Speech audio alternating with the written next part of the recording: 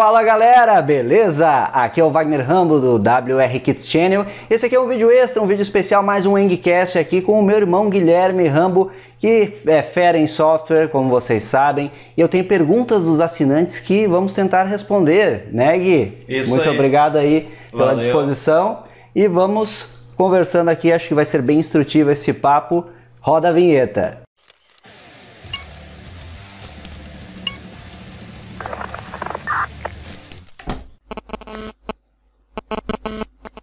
Estou aqui com meu irmão Guilherme Rambo, que programa bastante, é fera em programação. Mas primeiro vamos conversar da tua viagem no Vale do Silício. Vamos. Guilherme recentemente esteve lá em São Francisco, né? Sim. Então conta pra galera como é que foi essa experiência aí, o que você viu por lá de interessante. Para todo mundo que trabalha nessa área, principalmente quem está envolvido com as empresas do Vale do Silício, Apple, Google, é interessante ir para lá e conhecer, né, os escritórios das empresas Sim. e o ambiente também, porque é, é um pouco até caricato, né, de certa forma.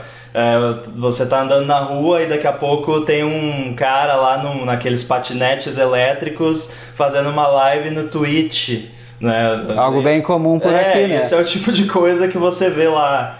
E, e é muito interessante ver também como que é a estrutura da- das empresas lá do Vale do Silício.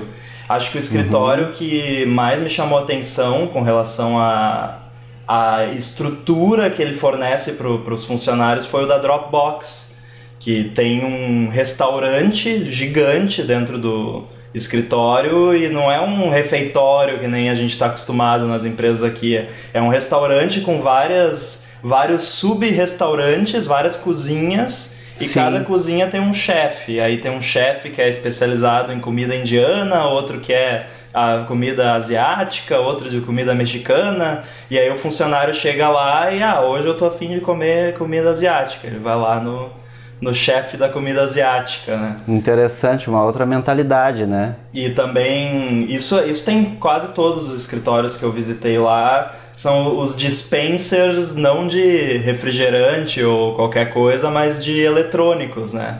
Olha que interessante. Vai ter uma reunião por, por hangouts, qualquer coisa, esqueceu o fone de ouvido, vai lá, aperta um botão, passa o crachá e cai um fone de ouvido, teclado, mouse, qualquer coisa, não precisa pedir para o setor de TI, né? Tá tudo lá. É Não pegar. tem almoxarifado, é assim, tudo prático. É. E um dos pontos importantes, interessantes da viagem foi a garagem do Steve Jobs, né? Que Vocês Sim, conheceram sim. a lendária garagem onde a Apple surgiu, né? Podemos É, dizer. há controvérsias, né? Mas Aham. a história oficial é que começou naquela O garagem. que todos contam, né? É, então a gente visitou, mas a gente visitou também, é, claro, além das empresas, os pontos turísticos e históricos, para quem gosta de tecnologia. Um deles foi a garagem também da HP, que, que é considerado Uhum. como o berço do Vale do Silício, né? Foi ali que começou o Vale do Silício. Ali que tudo surgiu, então é, foi o embrião. Considerado o embrião. É em São Francisco lá também. Eu não me lembro a cidade exata onde Uhum. é. É porque ali é, é uma região metropolitana, então tem várias cidadezinhas, né? Tipo Cupertino, San José, Palo Alto. Palo. Alto, é tudo, Aham. tudo um conglomerado, né? Então você vai andando, nem percebe que saiu de São Francisco, né? E eu também não sou muito bom de geografia, acaba esquecendo, mas é tudo ali naquela região. Próximo, então. Exato, exato. Então é, foi bem interessante, né? Tá lá, a gente foi no Computer History Museum também, cheio de anti antiguidades, muito interessante. Achei, assim, para quem tiver oportunidade.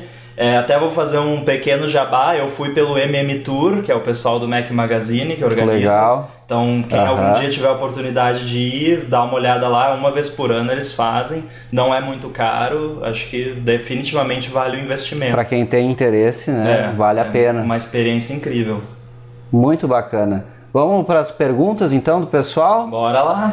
Então o pessoal postou as dúvidas lá na nossa comunidade, eu pedi, eu abri um tópico hoje mesmo, então vocês sempre fiquem atentos à comunidade do canal. Eu sempre posto coisas legais lá e eventualmente esse tipo de, de questionamento aí, pedindo para o pessoal perguntar sobre Apple, a linguagem Swift, também Raspberry Pi. E aí nós separamos aqui em alguns tópicos, iniciando com perguntas básicas, depois algumas sobre a Apple, depois Raspberry, aí outros tópicos e aí por fim vamos falar um pouco sobre IoT, internet que todo das mundo coisas ama, né? que todo mundo adora. Então vamos lá, as perguntas básicas começa aí bem bacana. Como começar a programar? Por onde come começar? Cursos, livros?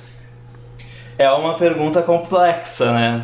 Acho que te perguntam muito isso também. Sempre, sempre, e sempre. Eu sempre recomendo a pessoa pensar qual é o, o foco que ela quer ter, pelo menos inicialmente, né? Eu, Uhum. por exemplo, comecei a meus primeiros uh, minhas primeiras experiências com programação foi no DOS, na época do que a gente usava MS-DOS. o Windows ME, aí tinha o console do DOS lá, a linha de comando, fazia uns programinhas em BAT, né? É, a extensão .bat, né? É, BAT. Que era uma Fazia softwares lá. É uma linguagem de scripting, né, na verdade. Aí eu lembro que na escola tinha o a laboratório de informática, eu aprendi um pouco de DOS lá, num, digitava num teclado IBM mecânico, parecia um trator digitando. Era um Pá, tijolo, pá. né? Tinha que forçar, né? Cansava os dedos de ficar apertando. E a, a primeiro, primeira aplicação prática que eu, que eu fiz da programação foi criação de, de websites e, e backends em PHP, né, nos velhos tempos. Sim, linguagem PHP. Então, assim, quem está querendo aprender, o primeiro passo é pensar aonde que vai querer aplicar primeiro. Quer fazer aplicativo para celular, quer fazer aplicativo para desktop, quer fazer para os dois, quer fazer site, o que, que a pessoa quer fazer, né? Tem Aí- um objetivo, Exato, caso. pensa em alguma Uhum. coisa que, que gostaria de fazer e aí aprende o que precisa para chegar naquele objetivo, né? Não pode ser muito ambicioso, né? Porque tá recém começando, então começa com alguma Obviamente. coisa simples. É, e, e, assim, eu conheço. Atualmente eu tô, meu, minha profissão é desenvolvimento iOS. Nesse, nesse ramo tem, existe um curso ah, online da Universidade de Stanford que Hum. é focado para desenvolvimento de aplicativos para iOS e é grátis. Qualquer Olha que interessante. pode acompanhar lá, é em inglês, né? Tem que saber inglês, mas é Sim. bem tranquilo. Então, esse é o curso que eu recomendo para quem quer entrar no iOS. Aí em outras áreas eu tô desatualizado. Por exemplo, se fosse dizer hoje em dia como que você aprende a fazer site, eu não saberia, porque não é mais o que eu faço Sim. atualmente, né? Mas é, é uma. não é difícil, assim, é só uma questão de ir atrás, pesquisar, né? Mas Uma coisa que eu sempre digo é praticar bastante, né? Que Não, Você aprende a certeza. programar programando, né? Sim. Testando códigos. não adianta só ler. é- Só toda, ler os assim, livros, né? Toda linguagem geralmente tem o seu livro, né? O seu manual ou algum livro que é referência. É mas verdade. não adianta começar por esse livro, porque vai ensinar um monte de recursos que a pessoa nem vai usar, e vai só usar daqui muito tempo e vai acabar É. confundindo, achando difícil. Então, pega algum projetinho simples e descobre aí usando o bom e velho Google o que que como que faz cada etapa. Não tem muito segredo e é isso aí, tem que praticar bastante. É, tá aí a dica, galera. Vamos para a próxima então. Hoje em dia existem inúmeras ferramentas de linguagem de programação. Qual seria recomendada para se aprender algo e ir direto ao ponto? Mais ou menos complementa a primeira pergunta. Nossa, a galera tá caprichando, né? É, pessoal, tá os difícil. assinantes WR Kids estão É. afiados. Aí também é a resposta mais inútil, né? Depende. Porque É verdade. depende do, do, do, do qual é a prioridade da pessoa. Por exemplo, hoje em dia, se a pessoa está buscando, por exemplo, um- uma posição no mercado de trabalho onde vai ganhar bem, né? Áreas Uhum. que pagam bem são as áreas do- das buzzwords, né? Machine learning, IoT, Sim, IoT. o próprio desenvolvimento mobile ainda, embora já esteja relativamente saturado, ainda é uma área que paga muito bem e tem bastante mercado. Então, se esse for o foco, eu recomendaria ir atrás de alguma dessas áreas. Mas para quem quer só começar assim, ah, eu quero ter uma ideia de como é programar, nunca programei na vida, eu recomendo alguma linguagem que seja muito usada por muitas áreas diferentes, que tenha muitas aplicações diferentes. Como a linguagem, por exemplo, JavaScript, que é uma linguagem relativamente simples. Eu particularmente não gosto muito, mas é, é uma boa para quem está só aprendendo e dá para usar em tudo, né? Eu normalmente recomendo a linguagem C, né? que É, não, eu ia justamente falar. Isso é, é boa, assim, pra pessoa ter uma, um pequeno contato, um contato inicial para ver como é que é. Uhum. Mas eu sempre eu recomendo que todo mundo, independente de qual for a aplicação, é, eventualmente aprenda pelo menos o básico de C, porque a, a é. linguagem C ela é a, base de tudo, né?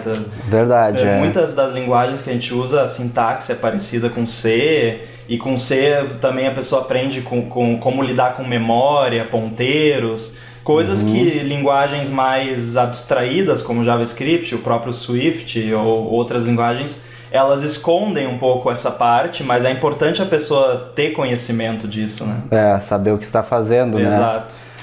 Tá aí, galera, vamos para a próxima então. Por que o Linux não é tão popular quanto o Windows? Polêmica? o que levou estes dois sistemas operacionais a estarem na posição que estão atualmente? Mero marketing, estratégia de vendas ou Windows é realmente superior ao Linux? É, o, Windows ele, ele é superior do ponto de vista do usuário, né? É, uhum. Acho que o, a grande questão é em qual mercado cada sistema se posicionou. O Windows ele foi mais para o mercado corporativo e para o mercado residencial e o Linux foi mais para o mercado da galera que trabalha com programação, pessoal mais nerd, né? Sim. E para o ah. servidor também. Servidor. É, até de certa forma é engraçado falar que o Windows fez mais sucesso, ele fez mais sucesso, faz uhum. mais sucesso no consumidor e no empresarial, mas os servidores, né, a grande maioria é Linux, algum sabor de Linux. Então. É, são, são dois focos diferentes. E tem até uma piada que o pessoal faz. To, todo ano é o ano do Linux no desktop, né? Uhum. Todo ano o pessoal, ah, esse ano vai, né? Esse ano a galera vai. Mas é, não, não é o foco e, embora o, hoje em dia os desktops Linux sejam muito bons, né? Uhum. Ubuntu, esses uh, Linux mais são, são mais bonitinhos, tem uma carinha bonita. Mais amigáveis. Bem mais amigáveis. Sim. Continua não sendo aquele feijão com arroz que todo mundo está acostumado, que é o Windows, né? É. É, tem também muito efeito Verdade. de rede, né? Ah, todos os meus amigos usam Windows, então também vou usar porque. Número de usuários implica, né, na Exato. decisão. Então, é, são esses fatores principalmente, né? Então é isso, vamos para o próximo tópico que agora é sobre a Apple em si. Vamos começar com uma pergunta simples: o que é a linguagem Swift? A linguagem Swift foi uh, introduzida pela Apple, se eu não me engano, em 2014 uhum. e foi um, um esforço para substituir o Objective-C, que era usado antes para as plataformas da Apple, que era uma linguagem baseada no C com alguma orientação a objetos baseada em Lisp por cima. Então era uma uhum. linguagem um pouco esquisita, assim. Eu gosto, eu, eu aprendi, me acostumei e comecei a achar legal, mas para quem assim vinha de outras linguagens era muito estranho usar Objective-C. Então uhum. eles quiseram criar uma linguagem que fosse mais fácil de começar a usar e que fosse mais moderna, tivesse uh, features de, de linguagens mais modernas, tipo generics, é, closures e uh, também type safety, que é você se você tem uma string, ela vai ser sempre ser uma string, você não pode associar um int numa variável que é uma string porque não dá, o compilador Sim. não deixa, né? Proibido. É, e a, em Objective-C você conseguia fazer umas coisas meio estranhas, assim. E aí. Era, tipo, burlar a linguagem é, C em alguns aspectos. E aí você descobria o problema só na hora de rodar o programa. E dava um crash lá é porque tinha usado um, um tipo errado no lugar errado e o compilador deixou, né? No Swift Sim. não, na hora de compilar já dá o erro, você já corrige e pronto, né? Então basicamente é isso. Legal. Um do, uma das. É, assim, um, um dos objetivos deles com o Swift era que ela fosse utilizável em tudo, em todos os lugares. Então Sim. ela hoje é open source. Legal e isso. E você pode rodar praticamente em qualquer lugar. Roda no Linux, roda no Mac, no Windows, no uhum. Raspberry Pi. É, tem, hoje em dia já tem vários projetos que estão usando o Swift como uma linguagem de programação para o servidor para criar aplicações web também. Sim. Então ela foi além de ser só para iPhone, só para Mac, virou uma linguagem mais uh, genérica. E Ganhou quem, força, então. Quem tem iPad pode baixar um aplicativo que chama uhum. Playgrounds, que é da própria Apple, e esse aplicativo permite uh, escrever Swift no iPad e ver o resultado em tempo real. Para quem está aprendendo é bem bacana. Muito prático, né? É. Fica na palma da mão. Exato. Aí... Então, para quem está aprendendo é uma boa, uma boa oportunidade. Aí tem vários uh, tutoriais passo a passo interativos, é bem Sim. bacana. E vale lembrar que no canal tem um curso básico de Swift, né, que o Guilherme é. ministrou. Até vou deixar linkado aqui no canto superior direito do vídeo, para quem vale tiver curiosidade. que esse tutorial tá um pouco desatualizado, então... É, tem a questão, é, já faz alguns anos, foi 2016 é, eu acho que foi feito. Quando lançaram o Swift, é, existia já essa essa, esse aviso de que a linguagem iria mudar, né? Aquela, a sintaxe dela não estava fechada. Ah, então, a sintaxe mudou é, de então lá para cá um pouco. mudou de lá para cá. Sim. Agora ela já está na versão 5. Desde a versão 4, a sintaxe dela foi é, fechada. Então a sintaxe não muda mais. Tem algumas coisas novas que são adicionadas, mas o que já era de uma certa forma não muda. Então Sim, agora, que ela, né, quem aprendeu uhum. hoje não precisa mais se preocupar com isso, né? São as, os problemas de aprender uma coisa muito nova, né? Muda muito Tem rápido. Tem essa questão aí, acho que está respondido, né? Então, uma, uma, pergunta interessante aqui, ó. Por que os softwares para a plataforma Apple são geralmente mais estáveis que os de outras plataformas? Apple versus Android? É complicada essa pergunta. Na verdade, não, eu não sei se isso é até que ponto isso é verdade. Eu nunca, eu não fiz nenhum teste científico e também nunca vi ninguém fazer. É, é. Ainda mais para mim que estou sempre rodando sistema beta e aplicativo beta, eu não acho tão estável assim, né? E conhece umas é. coisas que o pessoal, o usuário final, não vê, né? É, pois é.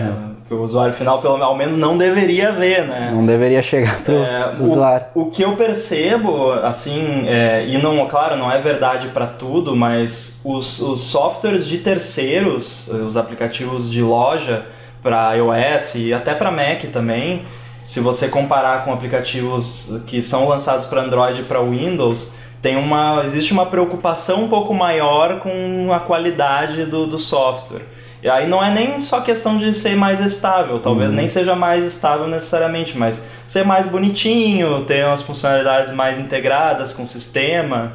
Eu acho que tem a ver com a, a cultura em torno da, da Apple, que é um pouco diferente, né? Sim. É, eu não digo nem que é melhor ou pior, né? No Android você tem mais variedade por conta de ser menos controlado, né? Então, Sim. É, na Apple, às vezes, a pessoa, no, no iOS, a pessoa às vezes se sente um pouco mais limitada porque não tem tanta liberdade para fazer o que quiser, né?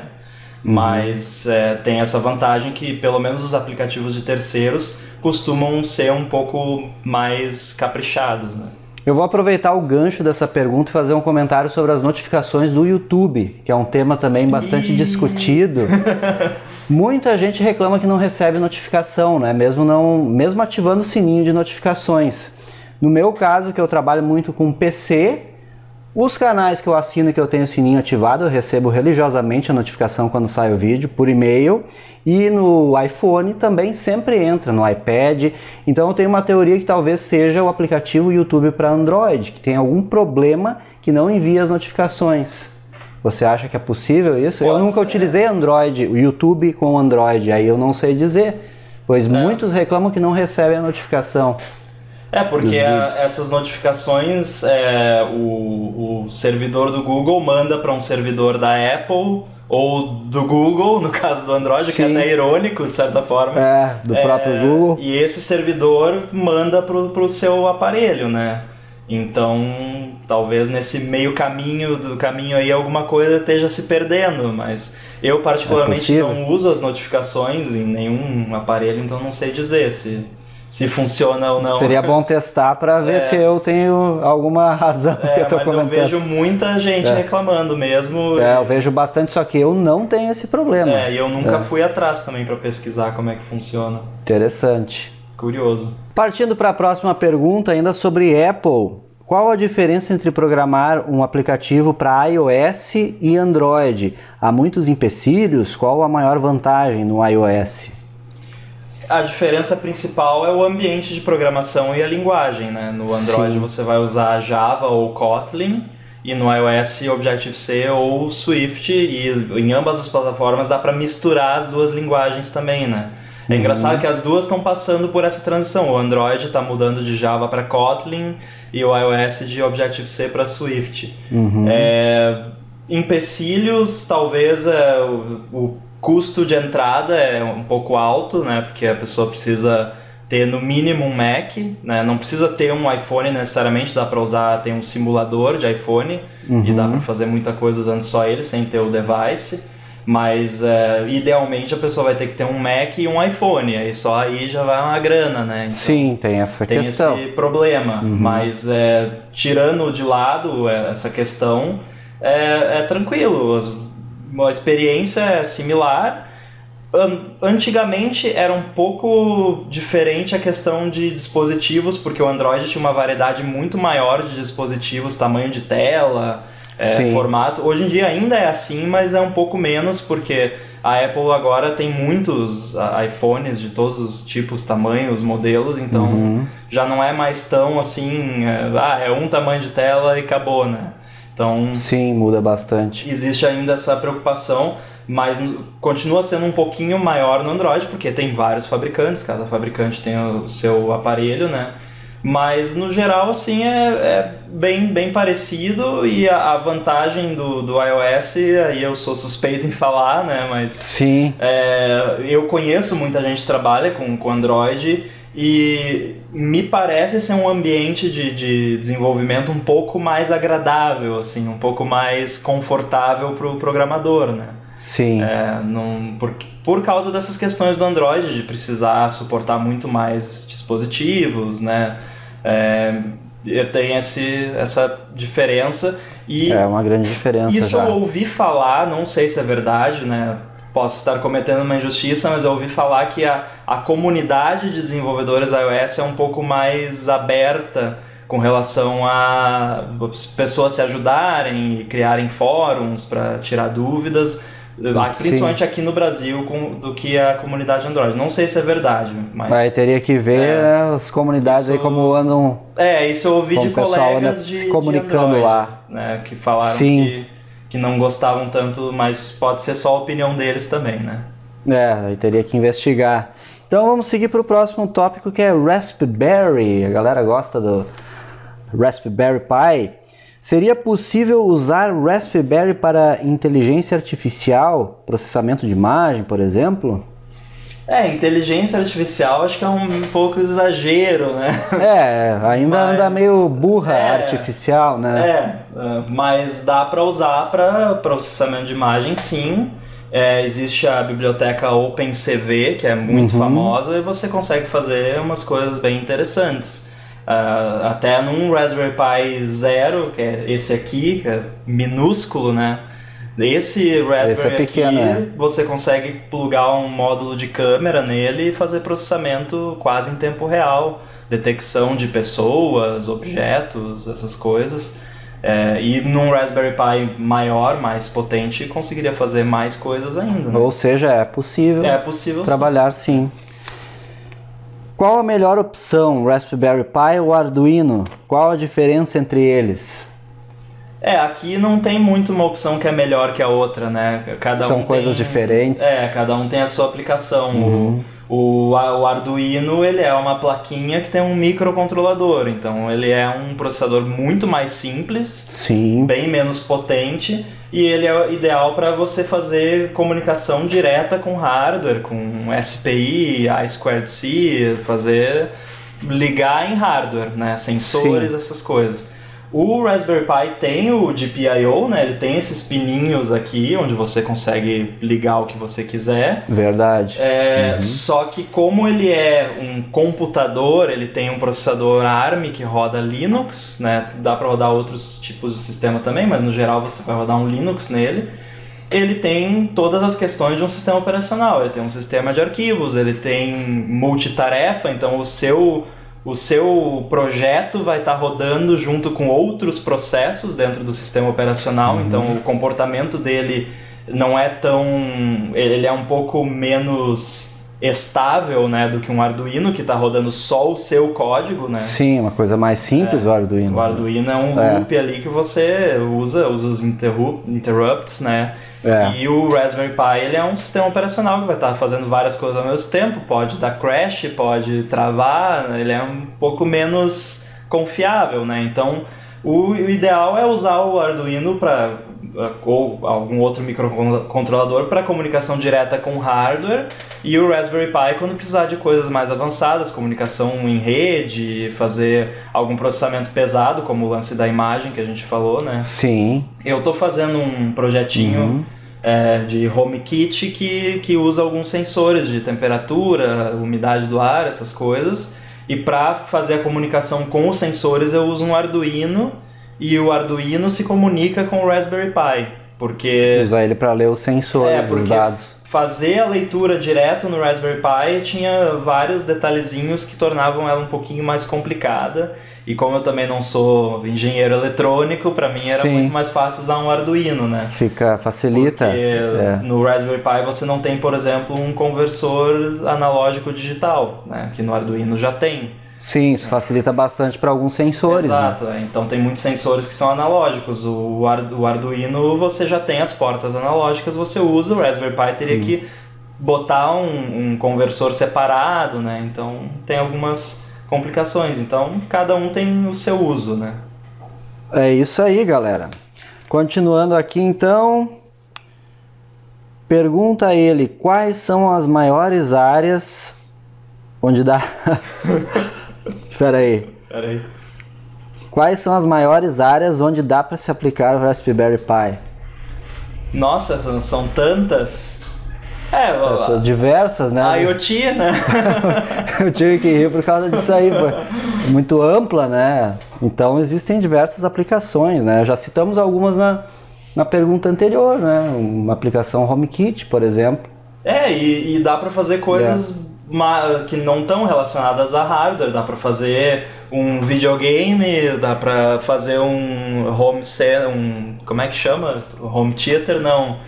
É um, um- um- um reprodutor de mídia digital. Media né? player, Media por player, exemplo. Exatamente. Sim. Você pode conectar ele. é, o o Raspberry Pi Zero, que é esse que eu tenho aqui, não é tão recomendado para isso. Até dá, mas não é tão recomendado.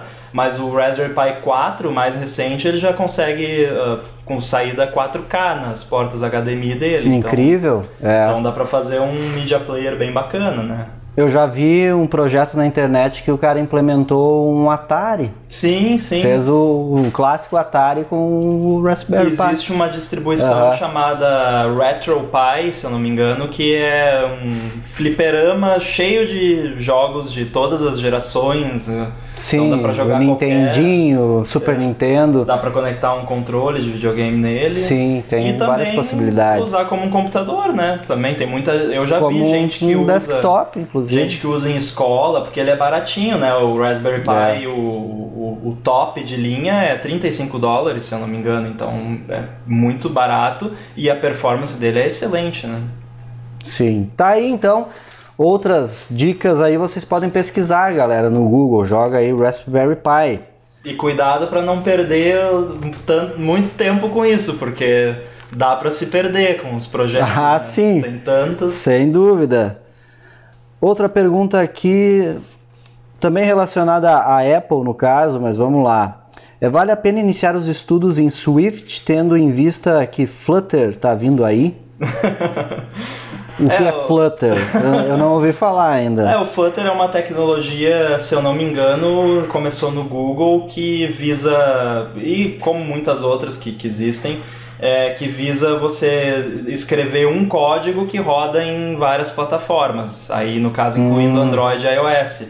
É, eu não gosto muito dessas, dessas ah, opções, já existe também o React, vai- tem várias opções que você pode criar um aplicativo que roda nas duas plataformas. Antigamente nas três, quando ainda existia o Windows Phone. É, né? essa questão de multiplataforma é um pouco. É, eu acho que tem suas mesmo. aplicações, por exemplo, uma, uma startup que está só começando e quer só lançar um aplicativo para ter né, nas duas plataformas e futuramente vai desenvolver os aplicativos mais Uhum. avançados, é, é uma boa. Eu não acho que seja um, uma aposta de mercado para quem está começando a estudar na esperança de pegar um trabalho, porque pela minha experiência, eu já trabalho há bastante tempo com isso, essas tecnologias híbridas, elas vêm e vão, assim, uhum. todo ano aparece uma nova, aí todo mundo diz que aquilo vai ser o futuro e daqui a um ano ninguém mais usa, então eu acho meio arriscado apostar nisso é bom aprender, claro, né? Porque é bom aprender tudo, mas é, é. não é muito bom apostar só nisso. Quer focar em desenvolver para iOS, vai para Swift. É. Android vai para o agora é o Kotlin. Kotlin. É, então, eu recomendo. Essa é a dica. Pelo menos aprender primeiro, né, a, a linguagem nativa da plataforma, depois pode aprender outras híbridas, mas não é uma boa aposta assim para cair Sim. de cabeça e só aprender aquilo. Vamos partir então para tópico outros agora. O que você acha do aplicativo Inventor 2 ou Inventor 2 do MIT? É só para crianças iniciantes em desenvolvimento de aplicativo? Conhece o Inventor 2? Não. Não? Então, não, não vamos é. poder opinar. Vamos pesquisar a respeito. Mas provavelmente não é. é. Porque o próprio Playgrounds da Apple também, as pessoas achavam que era só para crianças aprendendo a programar e não é. é. Imagino que seja alguma plataforma de programação que é de nível bastante amigável, Sim, né? Provavelmente. Programação em blocos, de repente, né? Então, seguindo adiante aqui, é possível usar linguagem Python para embarcados? É, é sim, inclusive. Gosta de Python? Não, é, é, é uma linguagem estranha, eu acho. É, eu não, ela é, eu acho ela interessante, por, por, acho até a sintaxe um pouco bonita, porque é bem limpa, não tem muito muita marcação, né? Um pouco é, vírgula, chaves. chaves também não tem. É, eu, eu acho interessante, é. mas nunca clicou para mim assim. Eu já tentei, eu sei um basiquinho ali. Sim, básico, né? Nunca clicou para mim, então acaba que eu não, não uso muito. Mas sim, é possível, o próprio Raspberry Pi roda, roda Python. Já Dá para programar, é, Já tem Python. alguns chips até mais simples que, que rodam Python. Então sim, é perfeitamente possível. E é, embora sim. eu não goste, né, nenhum de nós gostemos tanto. Não estamos é dizendo um, que não é para. É uma linguagem atrás, que está é. tá muito em alta atualmente, principalmente por causa de machine learning. Ela é muito usada na academia. Ah, verdade, ela é bem muito lembrado. usada para treinar modelos de machine learning. Então, para quem quer entrar nessa área, vai ter que aprender. Sim. Então vamos para o próximo aqui. HomeKit pode vir a ter topologia mesh no futuro ou algum impeditivo?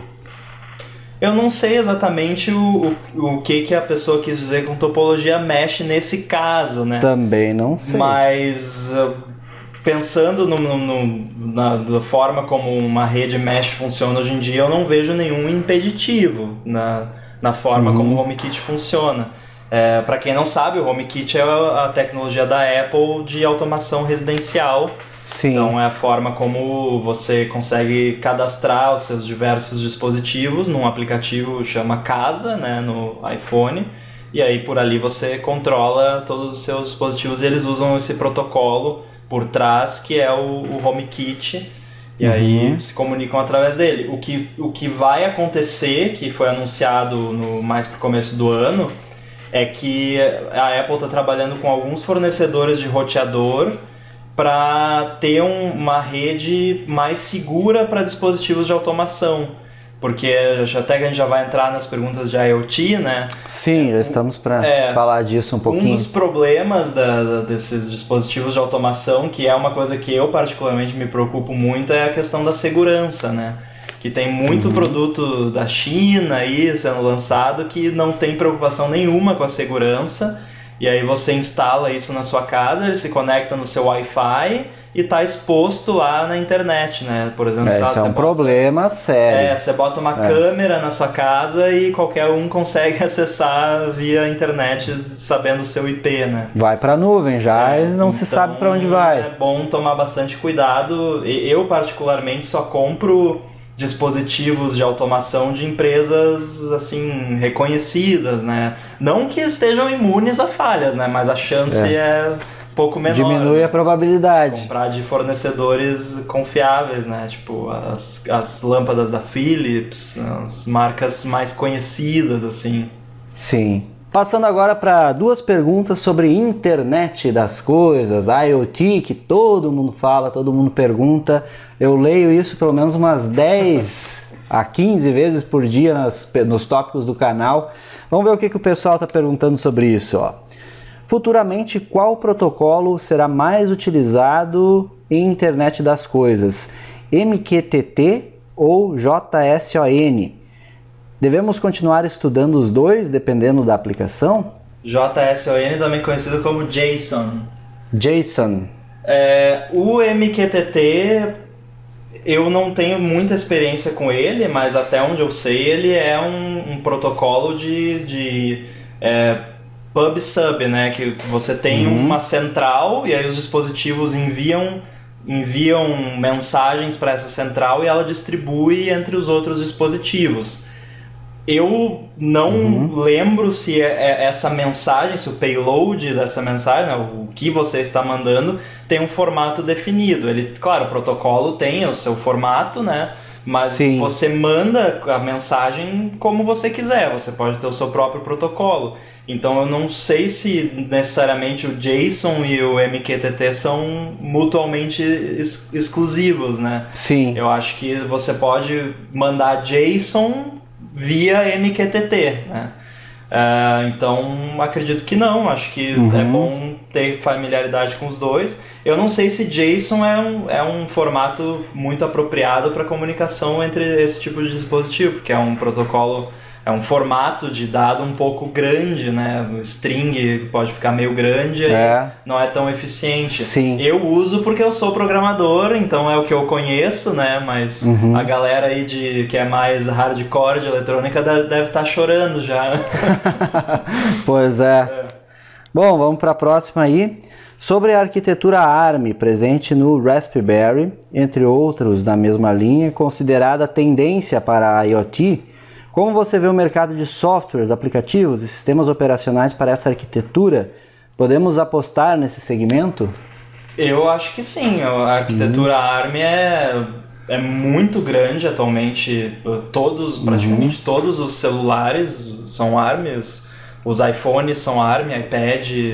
É, tudo que não é um computador desktop hoje em dia praticamente usa ARM. É mesmo? É, uhum. é impressionante a, a escala da, da, arquitetura ARM. Já tem gente usando ARM em servidor. É, tem uma empresa chamada Cloudflare, é, que é lá de São Francisco.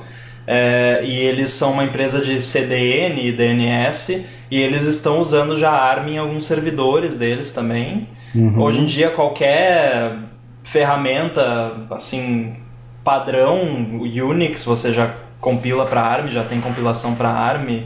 É, o Raspberry Pi é ARM, então eu acredito que vale a pena apostar sim. É uma arquitetura que, que tem futuro. Inclusive, tem futuro. Existe, existem rumores de que em breve a Apple vai passar a usar o ARM nos Macs também vai abandonar a Intel e vai passar a usar a ARM também. Ó, oh, interessante então, essa é, informação aí. Realmente é uma arquitetura que está tá crescendo cada vez mais, porque ela, principalmente para dispositivos móveis, ela tem uma vantagem muito grande de consumo de energia, né?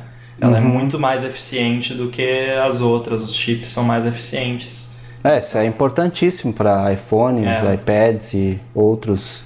E hoje em dia, por exemplo, se você faz um benchmark de um iPad Pro dos mais novos, que tem um processador bem novo, ARM da Apple, e compara com os MacBooks Pro mais caros, o, o iPad já ganha no benchmark, porque o processador uhum. ARM é melhor.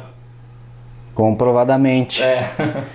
Então vale a pena estudar sim. Então foram todas as perguntas. Quer alguma mais alguma consideração a mais sobre a internet das coisas, a questão do pessoal falar demais isso é, aí então, é... popularizou muito esse termo ultimamente. Isso né? acontece com, com muitas coisas que ficam populares, é que é o, o fator buzzword, né? E todo uh -huh. mundo começa a falar naquilo, e aí as empresas começam a botar aquele termo nas coisas só pra dizer que é, né? Porque tá É quase uma tag, né? É, né? tipo, uh -huh. hoje em dia é ah, machine learning, é, IoT, Indústria 4.0, blockchain, tá tudo, blockchain. tudo é, na moda, né? Então, mas eu acho que tem que deixar de lado esses nomes e se preocupar mais com, com a tecnologia em si, fazer coisas legais. com as Deixa eu- aplicações em si, né? É, eu não chamo as minhas, os meus projetinhos de IoT porque eu também acho meio absurdo. É, termo é um Inclusive, pouco eu quero equivocado. recomendar um, um-